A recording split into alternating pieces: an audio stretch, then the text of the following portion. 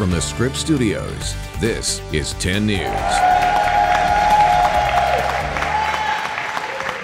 There it is, history revived in Mission Beach, and it's just in time for the 4th of July, the plunge reopening.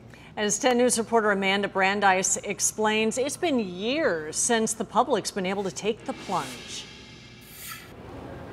When the plunge opened in 1925, it was the centerpiece of Belmont Park.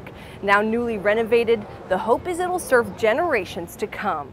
Thank you for everybody for being here today as we celebrate the reopening of the plunge at Belmont Park. This moment was long in the making for Mission Beach. I remember a lot of good times here. These are pictures of the original construction of the plunge back in uh, 1924. Terry Curran moved to Mission Beach in 1937.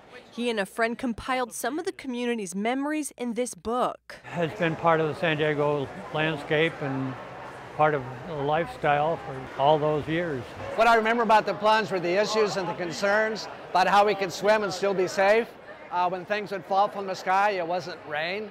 It was the plaster from the ceiling. But today, the plunge is almost unrecognizable. Curran remembers coming here when he was five. That was only 80 years ago. And now a new generation can begin making their own memories. Three, two, one. The renovated plunge features floor-to-wall glass ceilings and a retractable roof, but also incorporates some of the building's original features, replicating tiling and original archways.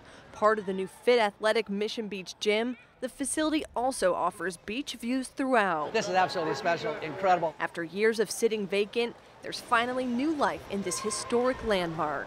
Amanda Brandeis, 10 News. The plunge will open to the public tomorrow. Day passes start at $15. There are also membership options. Something